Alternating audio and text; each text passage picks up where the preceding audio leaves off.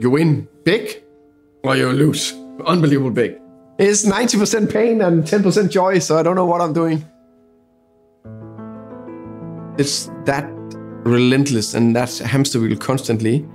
It's two games a week, and it's uh, you're always preparing to the next game. Try to do everything you can to win it, so you're never resting. Good to go. Good to go. Right. So if you can buff your t-shirt Yeah. and then I'll put that. Yeah. Woo, that's cold. yeah. How are you? Uh, how are you feeling this morning? Yeah, good. Calm. So now it's calm. Uh, then we have the meeting, calm. Getting close to stadium. Okay, now now we are getting. You feel a little bit more.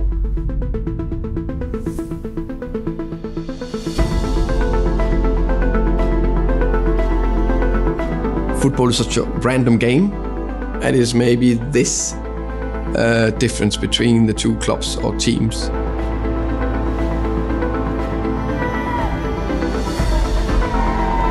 The heart rate in itself is not damaging, but it is a marker.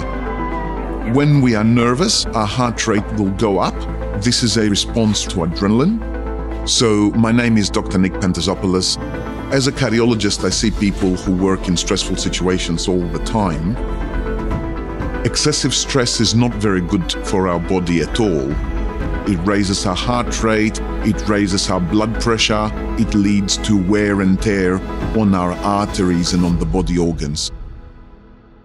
Heart health is very, very important. We need to look after ourselves. My name's Nity Raj. I'm a director of Brentford Football Club. Heart health is something we're passionate about because it's affected us for quite a long time. The situation we experienced with um, with Robert Rowan, our uh, technical director, of course, impacted uh, my view on on heart health. He joined us relatively young and was incredibly passionate about football. So Saturday afternoon, we lost to uh, to QPR, and I said, "See you after the game," and uh, we never did. Robert died from a cardiac issue which affects young people. It's the kind of thing which, if it's identified early, then people can get the right treatment. Getting to the Premier League means we get like a megaphone. If we can use football and the platform that we have to get that message out there, all the better. I have a picture of him on my on my desk. Good reminder of him, first and foremost, and secondly, football is just a game. Of course, it's not life or death, but in that moment, it's everything. When somebody walks, let's say, out of a tunnel into a very large audience, this immediately releases uh, chemicals such as adrenaline. look like you're calm and you're on top of everything, but inside, of course, there's a hurricane uh, rushing around in you. So when Thomas feels this nervousness, this is his body telling him that something major is about to happen. Come on, you bees! Come on! Great march!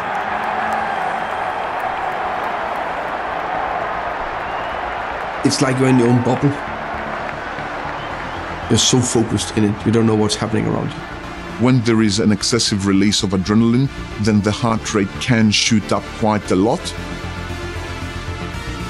Of course, when the, the match starts, that's where you can feel the zoom.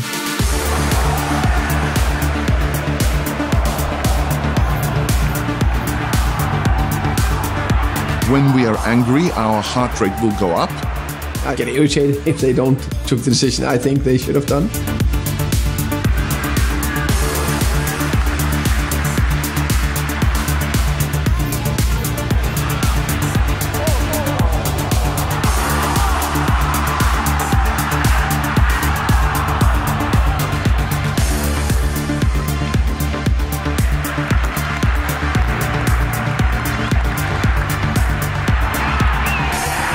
There's lots of ways in which we feel that we can make an impact to heart health.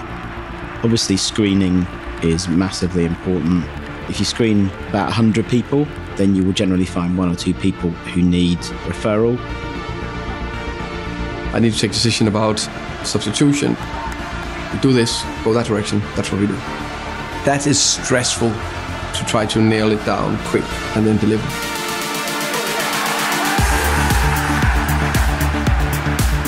The next thing for us is CPR training.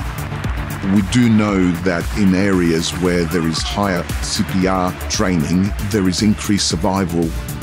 We've actually had it happen at the stadium recently. Uh, somebody had a cardiac arrest, two people nearby administered CPR, and that person's life was saved.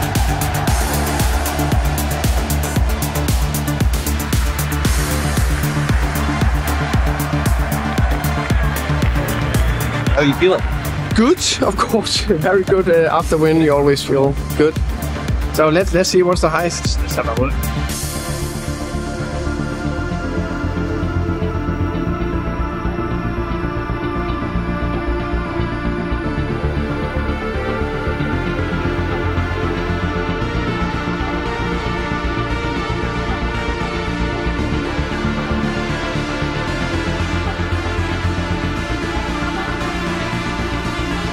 We like it, we love it.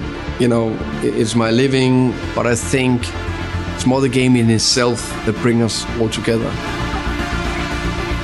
I think Robert would be really proud of what we've achieved, not just on the pitch, but off the pitch too. After a game, it's not a joyful feeling, it's more relief. It's more that, whew, got over the line again. Good, move on, next one.